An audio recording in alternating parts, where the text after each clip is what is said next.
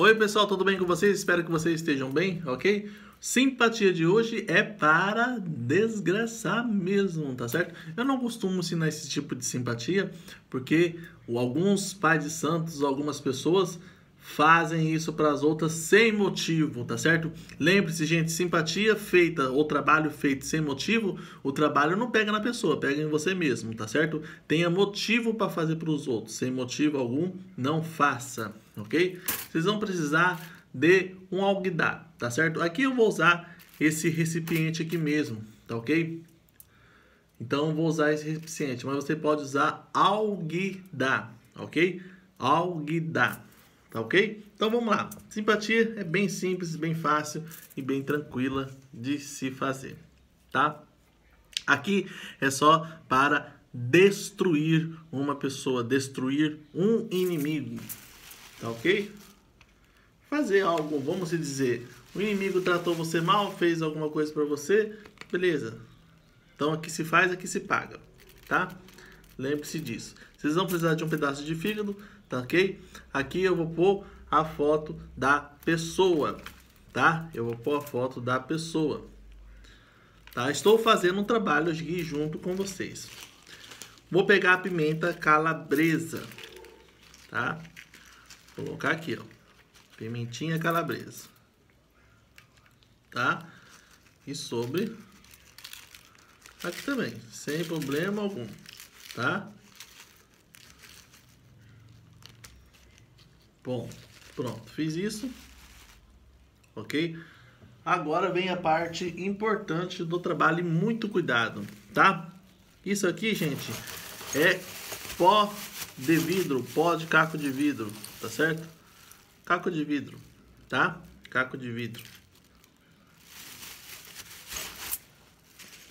Cuidado aí para não se cortar, se machucar, etc e tal, tá? A gente, eu não quero isso para vocês.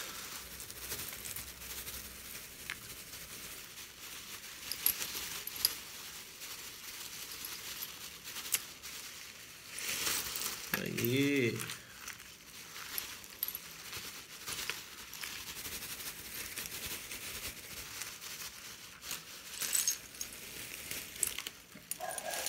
Então, pó de caco de vidro, tá? Essas pessoas que faz cortante, esses molecada, usa caco de vidro, né? O caco de vidro maior, se você tiver aí, você vai pegar e enfincar na foto, tá? Enfinca aí, ó, tá? Que essa pessoa, ela se destrua, que essa pessoa acabe, que ela se acabe, tá certo? Eu quero a destruição dela, tá ok? Quem deseja mal para você, merece o quê? Mal também, gente, sem problema algum.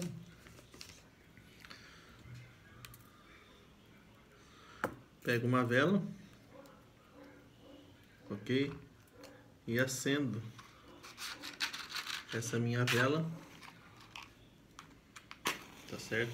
Acendo essa minha vela. Quando eu estiver fazendo o meu trabalho, apenas quando eu estiver fazendo o meu trabalho, eu pego e acendo uma vela, tá? Pedindo aqui até a intercessão de Exu, tá? Sempre com todo respeito, gente, tenha respeito pelo trabalho que você está fazendo, ok?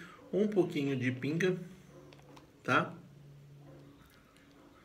Só um pouquinho mesmo, quando eu falo pouquinho, é pouquinho, é só para molhar.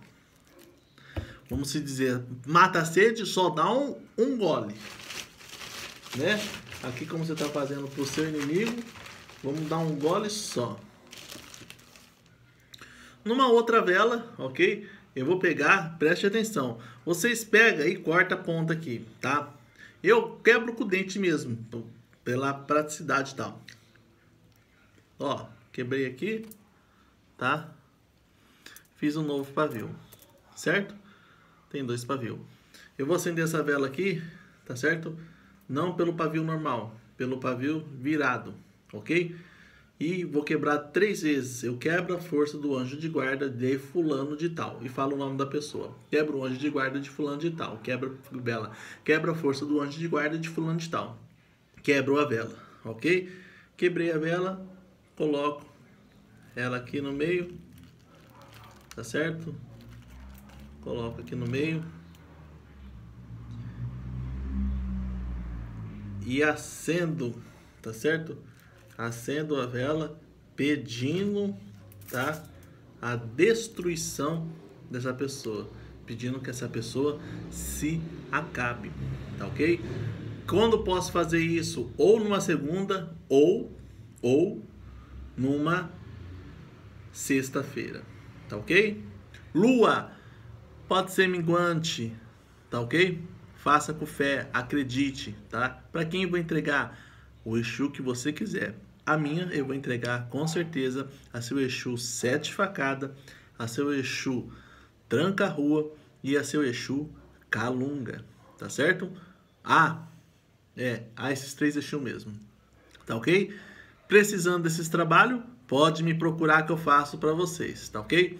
O número é 011, tá ok? É 011 944 47 9004 011 94 447 9004 ok? Laroe Exu Laroe Exu Mojubá